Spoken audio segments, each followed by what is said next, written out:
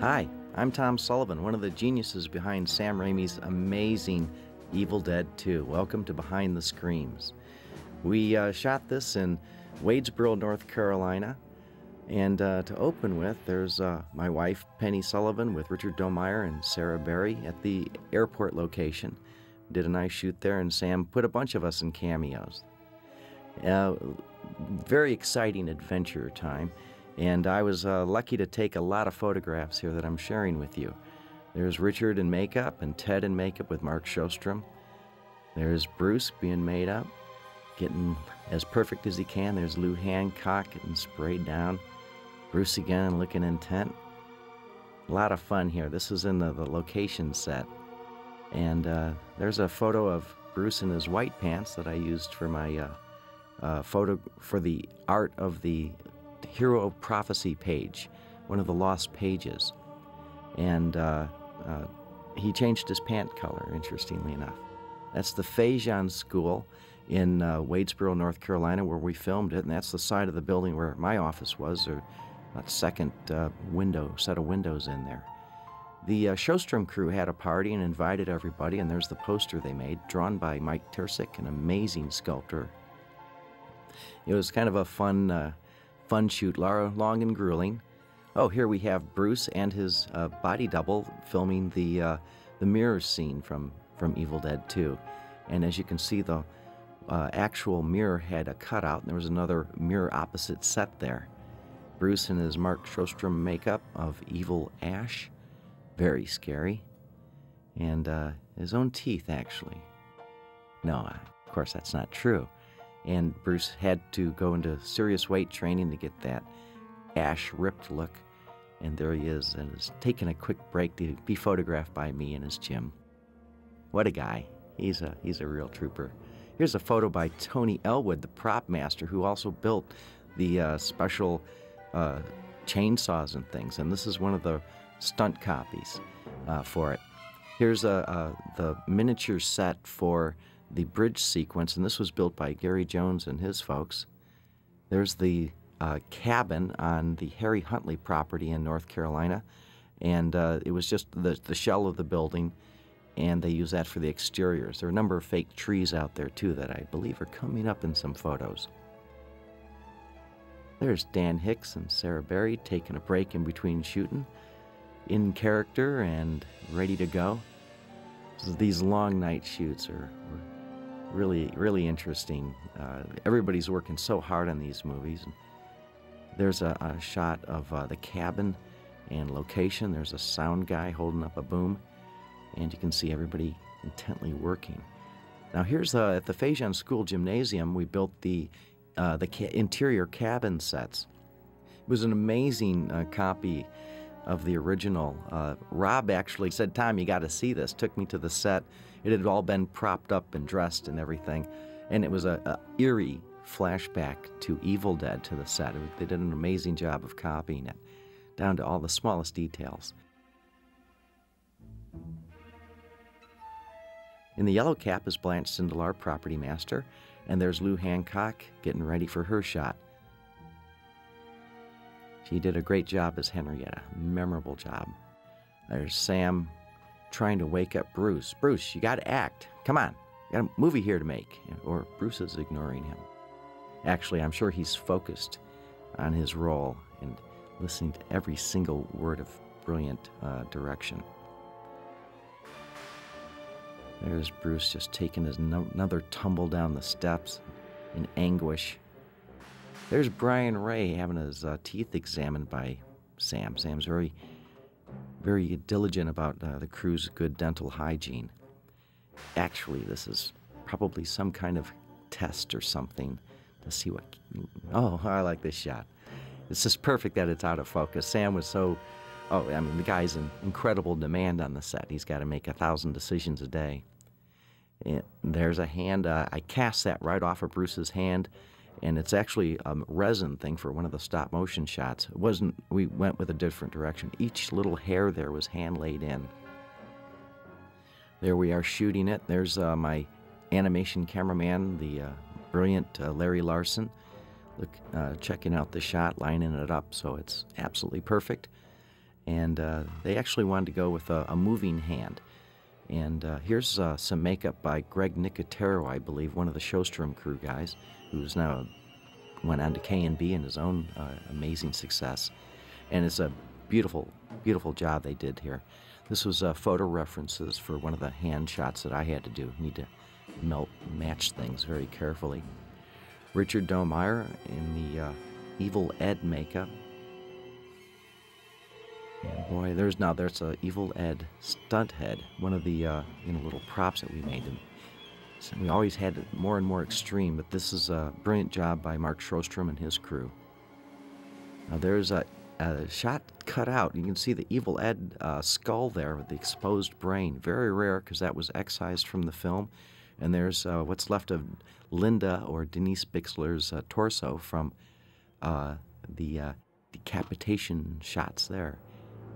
Very gory stuff. Here's another photo by Tony Elwood of the evil uh, Ed chopped up head. Disgusting. Wonderful. Oh, and a very rare shot of the evil Ed skull, also supplied by Tony Elwood, the prop maker for uh, Evil Dead 2. Greg Nicotero talks to uh, Mark Shostrom, and uh, uh, they had an amazing crew with an astounding amount of work to do. Holy cow! They were.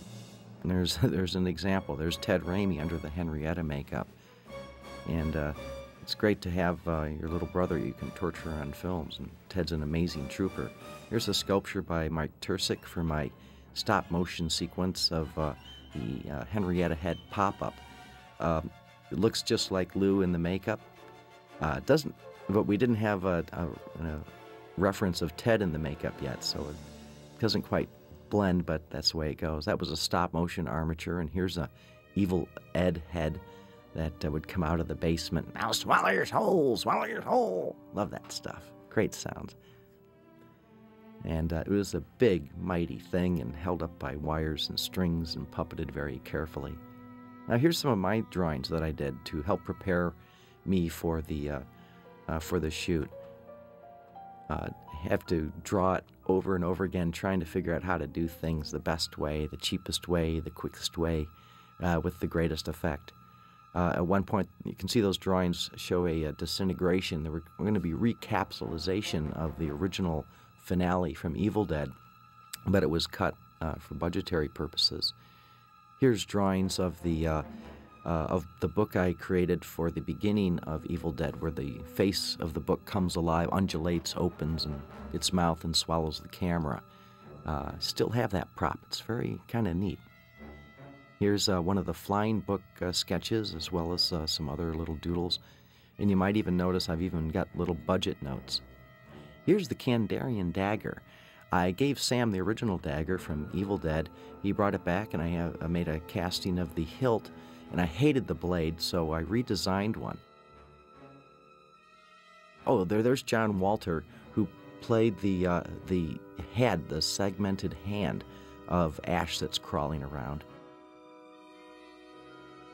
That's me working on uh, on on one of the stunt uh, painting one of the stunt copies of the uh, of the dagger that would be mounted on it. Here's another photo by Tony, and uh, he um, actually created the mount and everything, and cast this. Uh, it's a soft foam uh, blade, so that could be stuck in Dan Hicks. There's Rob Tapert tweaking his own nose. Love to fool himself with that. And there's uh, Josh Becker on the right. they were have little cameos as knights, of course. There they are again, and Blanche Sindelar, the prop master, is uh, sealing Josh into his uh, into his suit of armor so he can fight the terrors of the Deadites. There's Bruce laying on the ground, slacking off as usual. No, of course, that's an important scene from the movie. Up on the hill there, we see the miniature, or the bigature, I guess they call them these days, of Castle Kandar. Uh, actually, a very uh, if you look, I think there might be a shot in here, but it's all just built up a uh, little bit of depth to it, but actually just a miniature with a, a uh, forced perspective kind of look. They're very effective, very effective. And this is shot like in a quarry or highly eroded area, uh, several miles from uh, our Wadesboro site. Take this, you evil deadite. One of the fun shots. Big, big cast of, uh, of uh, knights on horseback. Now, here's one of the props Tony made. This is for the laughing room scene. You can see the air bulbs that will help propel that. Here's Mike Ginesco in a uh, uh, suited up for a makeup test for um, the uh, Professor Knowby ghost appearance. They would do tests on things. Here's one of the fake trees that would later come alive um, uh, in miniature, thanks to Gary Jones's miniature trees. And uh, this was built up out of oh, some kind of polyurethane foam and structure and everything. Now you can see part of the uh, tree limb that bursts into the uh, into the room at the finale of Evil Dead 2 uh, in order to feed ash into the rotten applehead, as we called it, this horrible creature right here. Uh, on the other side, as you can see, there are a couple of faces of the other doomed uh, folks that have been swallowed whole by this evil creature. There's a nice shot of Ash. Join us! Join us! A fate too horrible to imagine. Here's another Tony shot of, uh, of the rotten apple head being touched up. Got to keep it nice and bright and gooey. Uh, for that uh, original opening sequence of Evil Dead, Mike Turks had uh, sculpted this brilliant um, miniature based on Sam Raimi. Sam was going to play the Scotty part in the recap of Evil Dead, and uh, this was for a stop motion animation meltdown I was going to do. Never quite happened. Uh, this is uh, early designs for my Flying Deadite. I sculpted the, uh, did the skull over a stop motion armature, little ball and socket jointed thing. Uh, the clay uh, is super sculpey, great stuff, love it. And but it, Sam, I showed Sam these early designs, and he wanted it more fierce, like a little old lady. It confused me too, but I shortened, I made it less witch-like and actually kind of sculpted it more like a variation of the uh, uh, makeup design I did on Ellen Sandweiss for the original Evil Dead when she played the Deadite uh, version of Cheryl. There I am working on uh, the uh, stop motion armature of the Flying Deadite. It was uh, built up over an armature created by my old company, Illusion Engineering, I had with Bob Meese. we it, aluminum armatures, very lightweight and nice and strong. Worked quite well, I thought. There's the more complete skull uh, version. Uh, the wings were cast separately. And uh, the skull actually had uh, a couple of points of, uh, of tweaking so I could actually create expressions. There, Brian Ray, my, the assistant who kept me sane during this film, uh, is posing with the Deadite. He was in uh, the Wadesboro shoot as well as when we came back to the Detroit area. Here's another photo by Tony Elwood of the Flying Deadite, and I really like that shot. Uh, you don't actually see the tail in it. Uh, the uh, sequence kind of got truncated because there were some problems with the background plates, but it's supposed to be a whole kind of a Harryhausen sequence where he comes down and battles the knights and everything. But I based the tail on a uh, kind of a seahorse, but he also had this big, long, flat blade. Now there's a there's the full size uh, exploding head deadite, and I'm actually underneath it, uh, running, controlling the uh, those uh, rods coming out of the uh, uh, armpits, or the elbows rather, and there, Gary Jones is packing it with primer cord to blow up the gelatin head he cast from my sculpture. Gary's a very versatile guy. There's the after picture of all the gore of the exploded head. If you want to see what it looks like exploding, watch the movie frame by frame. You can see it all disappear. And uh, I made this as quick as I could. It's all basically clay built up over wood uh, and uh, covered with uh, liquid latex to kind of give it a skin thing. Oh, here I'm animating uh, with uh, a propane torch the melting or the withering flower effect uh, in a very brief scene. Here's a for the re, for the recapitalization of um, of the Evil Dead or origin, uh, I did shoot a Book of the Dead that was melting.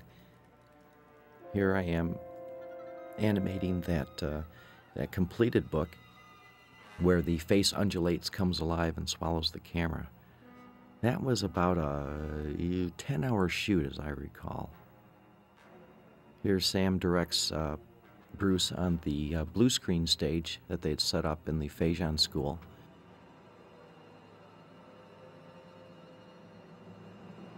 The uh, oven there was on big cables and everything. Uh, Larry Larson is, is photographing a, uh, another sequence that unfortunately got dropped. I'd painted a series of paintings to represent uh, a horror uh, journey that Bruce would go through. Uh, there I am spinning the vortex around. I did two of them, and they're supposed to be superimposed as they're spinning and be zooming in on one or another to create a, a, an effect, but it never made it to the final composite. There's Tony Elwood, property builder, and he, um, uh, really terrific guy. He's now a filmmaker himself. There's Mike Ginescu. Uh, when he's not uh, being used in photographs, he was the one of the uh, editors, assistant editors. Sam Raimi there at our uh, at the finale of the shoot uh, organized a Evil Dead 2 talent show that we all participated in. Now here's a, a fun scene with uh, some of the office folks. And uh, there's Blanche Sindelar helping Tony Elwood with his magic act. And we had a lot of fun. It was a lot. Of, it was a nice crew. And oh, oh, there's uh, I believe that's Ted Raimi, Sam in the middle with the long hair, Rob Tapert, and I'm pretty sure that's David Goodman on the end with the other guitar, uh, throwing us a good party, entertaining us all. Thank you very much. You take care.